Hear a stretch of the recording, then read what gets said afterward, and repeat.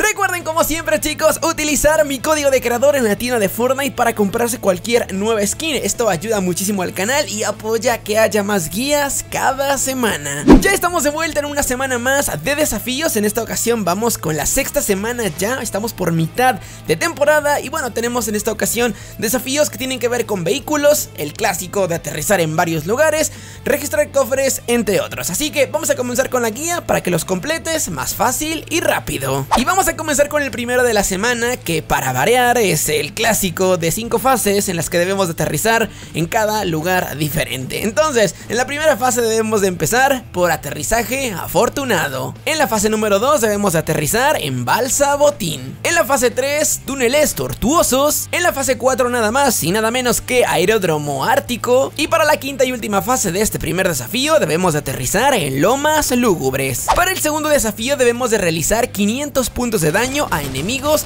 con sus fusiles. Esto puede ser entre una o diferentes partidas, no importa el modo de juego, simplemente cada vez que hagamos daño se irá acumulando hasta juntar los 500 puntos. Ya en el siguiente desafío tenemos uno por fases, son tres en total y consiste en que cada una hagamos cierto objetivo en una zona ardiente. Pero, ¿qué es una zona ardiente? Básicamente son los lugares en donde aparecen los drones estos de loot al principio de las partidas y para identificarlos simplemente debemos de ver en el minimapa cada inicio de partida las ciudades que aparezcan con nombre en amarillo. Suele haber una o dos por partida y estas obviamente van variando en cada una. Entonces lo único que tenemos que hacer es ir a esta zona dependiendo tu partida, tratar de empezar por allí e ir completando los objetivos. Para la fase 1 debemos de registrar tres cofres en una zona de estas. Pueden ser entre una o diferentes partidas hasta que completes los tres. En la fase 2 debemos de registrar tres cajas de munición igualmente en una zona ardiente y también pueden ser entre una o diferentes partidas. Y para la fase 3 debemos de hacer una eliminación, solo una baja en una zona ardiente también.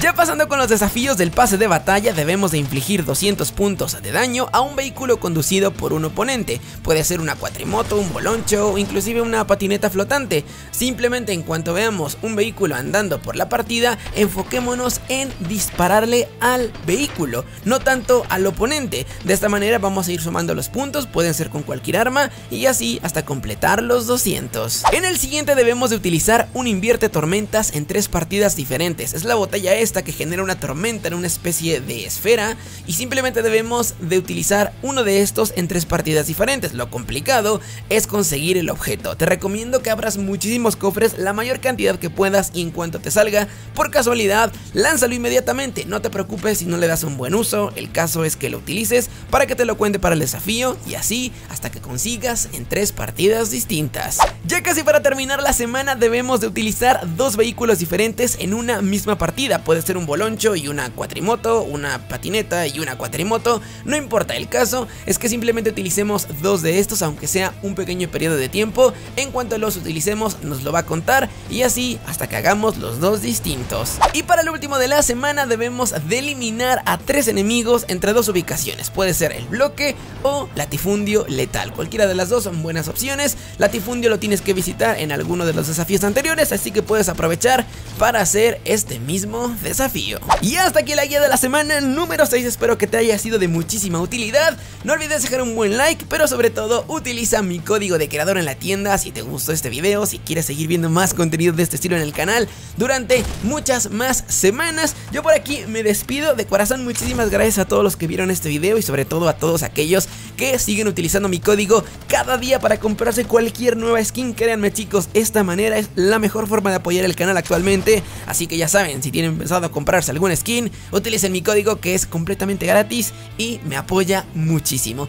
Yo por aquí me despido, nos vemos en la próxima y adiós.